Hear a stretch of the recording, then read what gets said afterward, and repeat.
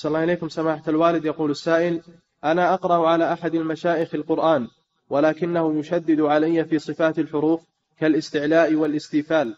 فهل هذا من قوله صلى الله عليه وسلم الماهر بالقرآن مع السفرة الكرام البررة؟ المبالغة والزيادة لا تجوز في التجويد. ينبغي الاعتدال. لا يهمل التجويد ويتهاون به ولا يغالي فيه ويبالغ فيه ويتنطع فيه بل يتوسط. نعم. وإذا كان هذا المدرس لا يترك هذه العادة ابحث عن مدرس غيره أسهل منه وأحسن منه. نعم. التنطع التنطع هذا لا يجوز. تقعقر لا يجوز. نعم.